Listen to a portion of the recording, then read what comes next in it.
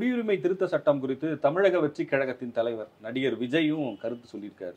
அந்த சட்டத்தை ஏற்றுக்கொள்ள முடியாதுன்னு சொல்லியிருக்காரு. ஆட்சியாளர்கள் தமிழ்நாட்டில் அதை அனுமதிக்க கூடாதுன்னு சொல்லியிருக்காரு. ஆட்சியாளர்கள் ஏற்கனவே அதை தமிழ்நாட்டில் அனுமதிக்க மாட்டோம்னு சொல்லி ஒன்றரை மாதம் ஆகுது. அதற்கு எதிராக ஒரு ரெசல்யூஷனை தமிழக சட்டமன்றத்தில் இயற்றி கிட்டத்தட்ட ரெண்டரை வருடங்கள் ஆகிறது. இந்த வரலாறுலாம் கொஞ்சம் தெரிஞ்சுக்கிட்டா நல்லது ஒரு விஷயம். ரெண்டாவது சமூக நல்லிணக்கத்துடன் நாட்டு மக்கள் அனைவரும் வாழும் சூழலில் பிளவுவாத அரசியலை முன்னிறுத்தி செயல்படுத்தப்படும் இந்திய குடியுரிமை திருத்தச் சட்டம் ரெண்டாயிரத்தி பத்தொன்பது போன்ற எந்த சட்டமும் ஏற்கத்தக்கது அல்ல. தமிழ்நாட்டில் இச்சட்டத்தை நடைமுறைப்படுத்த மாட்டோம் என்று ஆட்சியாளர்கள் உறுதியளிக்க வேண்டும். இதுதான் சிம்பிள் ஸ்டேட்மெண்ட் இதை இன்னும் கொஞ்சம் விவரமாக தெளிவாக யார் கொண்டு வந்த சட்டம் அப்படின்னு சொல்லியிருக்கலாம். மத்திய இதில் வந்து இந்த குடியுரிமை சட்டத்தை எந்த அரசு செயல்படுத்துச்சு? எந்த அரசு வந்து அதை பாராளுமன்றத்தில் கொண்டு வந்தது? அது எல்லாம் மக்களுக்கு தெரியும் இல்லை. அதெல்லாம் மக்களுக்கு தெரியும் யாரு கொண்டு ஆமாம். விஜய் விஜயோட கருத்து என்னங்கிறத எல்லாரும் இங்க இல்ல, கேக்குறது இல்ல. விஜயோட கருத்து என்னங்கிறதெல்லாம் கரெக்ட் விஜயோட கருத்து இதை எதிர்க்கிறாரு. கரெக்டா யார் கொண்டு வந்ததுன்னு சொல்லிட்டு இருந்தா நல்லா இருந்திருக்கும்ல. இல்ல அது மக்களுக்கு தெரியும். சார் தேர்தல் வருது அவர் கட்சி இன்னைக்கு வந்து எலெக்ஷன்ல கண்டெஸ்ட் பண்ண போறது இல்ல. அப்போ திமுகவுக்கு அவர் பிரச்சாரம் பண்ற மாதிரி ஆகாதா? இல்லையே. இங்க அதிமுக கூட தான் எதிர்க்குது அந்த சட்டத்தை. அப்ப ரெண்டு பேருக்கு சேர்த்து பிரச்சாரம் பண்ணதான் இல்ல அது நினைச்சு அவரே அதை பண்ணணும். அவருடைய நிலைப்பாடு. சொல்லிட்டாரு. சட்டத்தை நான் இல்ல இல்ல நான் இது அரசியலாவே பேசல. நான் இது அரசியலாவே பேசல. எல்லாமே அரசியலா தானே மாறும். அரசியலா தான் மாறும். பட் இதெல்லாம் இந்த ரிஸ்க் எல்லாம் எடுக்கணும். அது நான் நீங்க ஒரு சிம்பிள் விஷயங்க. ஒரு ஒரு சட்டத்தை மத்திய அரசு கொண்டு வர்றாங்க. ஒட்டுமொத்த எதிர்க்கட்சிகளும் எடு எதிர்க்கிறது நாடே கொந்தளிக்கிறது. அதுல வந்து அந்த சட்டத்தை யார் கொண்டு வந்தாங்கன்னே நீங்க சொல்லாம நீங்க ஒரு அறிக்கை கொடுக்கலாமாங்க? அதுல இந்த தமிழ்நாட்டில் இச்சட்டத்தை நடைமுறைப்படுத்த மாட்டோம் என்று ஆட்சியாளர்கள் உறுதி அளிக்க வேண்டும். உறுதி அளிச்சிட்ட பிறகும் இது நீங்க சொல்லலாம். தப்பில்லை. இன்னொரு உறுதி கொடுங்க. எப்பவோ சொன்னீங்க. இப்போ அமல்படுத்திட்டாங்க. இன்னொரு உறுதியை கொடுங்க அப்படின்னு கேட்கலாம். அதில் விஜய் பேசுறதுல எந்த தவறும் இல்லை. ஆனால் அந்த முதல் பத்தியில எனக்கு கொஞ்சம் ப்ராப்ளம் இருக்குங்க. அது யார் கொண்டு வந்த சட்டம்னு சொல்லணும்ல. சரி அவர் ஏன் அதை மென்ஷன் பண்ணாம இப்படி ஒரு ஸ்டேட்மெண்ட் கொடுக்குறாரு? அதுக்கு ஏதாவது ஒரு பின்னணியோ உள்நோக்கம் அதுக்கு விஜய் தான் பதில் சொல்ல முடியும். அந்த பின்னணிக்குள்ள அதற்கு ஒரு உள்நோக்கம் கற்பிப்பது என்னுடைய வேலை இல்லை. நான் உள்நோக்கம் கற்பிக்கவும் மாட்டேன். எனக்கு எதுவும் தெரியாது அவர் ஏன் அந்த மாதிரி ஸ்டேட்மெண்ட் கொடுத்துருக்காரு.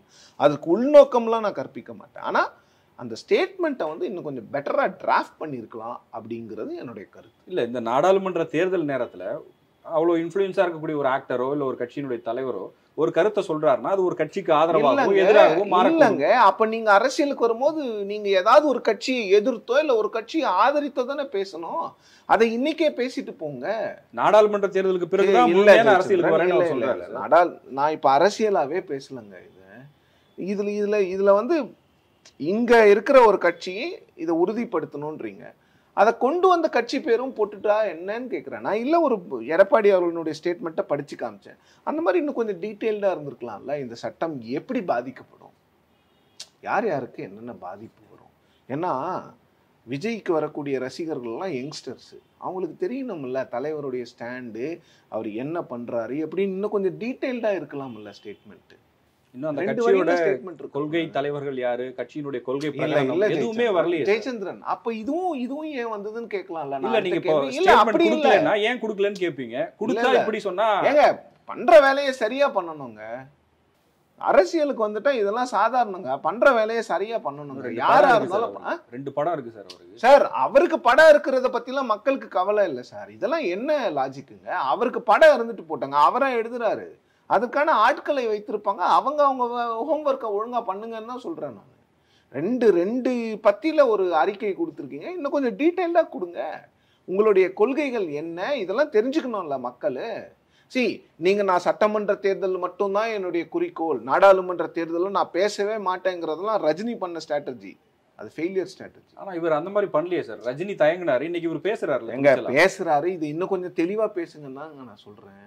நான் விஜய் அவர்களுக்கு வந்து இது பாராட்டு தான் சொல்கிறேன் நான். அவர் பேசியிருக்காரு. இன்னும் கொஞ்சம் தெளிவாக பேசுங்கங்கிறேன்.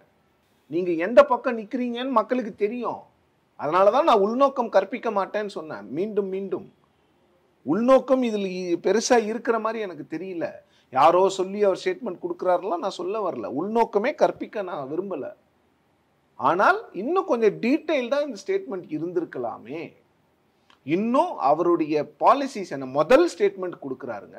இன்னும் கொஞ்சம் டீட்டெயில்டாக இது வந்து இந்த ஆண்டு வந்து இந்த சட்டம் வந்து மத்திய அரசால் நாடாளுமன்றத்தில் நிறைவேற்றப்பட்டது. அப்பொழுதே வந்து இந்த சட்டத்திற்கு வந்து எதிர்ப்பு எழுந்தது. நாடு முழுவதும் கொந்தளித்தார்கள் மக்கள். அதன் பிறகு இது கிடப்பில் போடப்பட்டது. தேர்தலுக்கு கொஞ்ச நேரத்துக்கு முன்னால இதை கொண்டு வராங்க. இதுல உள்நோக்கம் இருக்குமா? இப்படி வந்து நாட்டில் அது இருந்தாலும் தமிழ்நாட்டில் இந்த சட்டத்தை கொண்டு வரக்கூடாது. இதில் வந்து தமிழ்நாடு அரசு சொல்லிட்டதை நீங்கள் நினைவுபடுத்துங்கன்னு கூட நான் சொல்லலை. தமிழ்நாட்டில் இச்சட்டத்தை நடைமுறைப்படுத்த மாட்டோம் என்று ஆட்சியாளர்கள் மீண்டும் உறுதியளிக்க வேண்டும் சொல்லுங்க. இல்லை அதுக்காக ஒரு சட்டமன்றத்தில் ஒரு ச- தீர்மானம் நிறைவேற்றணும்னு சொல்லுங்க. அதெல்லாம் நீங்கள் வந்து கேட்கறதுக்கு உங்களுக்கு நூற்றி ஐம்பது பர்சன்ட் உரிமை இருக்கு. இன்னும் கொஞ்சம் டீட்டெயில்டாக சொல்லுங்கன்றேன் நான் வேற எதுவுமே சொல்லலை. இது வந்து அறிக்கைகள் வந்து உங்கள் கட்சியினுடைய பிரகடனமாக கொள்கை பிரகடனமாக பார்க்கப்படும். அதுல வந்து நீங்க இன்னும் கொஞ்சம் ஹோம்ஒர்க் பண்ணி ரொம்ப டீட்டெயில்டா இருக்கணும் அறிக்கைகள். இது வந்து பொலிட்டிக்கலி அவேர் ஸ்டேட் நீங்க வந்து ரெண்டு வார்த்தையில ட்விட்டர்ல எல்லாம் போட்டு போக முடியாது. ரொம்ப டீட்டெயில்டா உங்களுடைய ஆர்கியூமெண்ட்ஸ் வந்து இருக்கணும். இதை வந்து ரைட் ஸ்ட்ரைட்ல எடுத்துப்பாங்கன்னு நினைக்கிறேன். இந்த விமர்சனத்தை. நன்றி சார். நன்றி ஜெயச்சந்திரன்.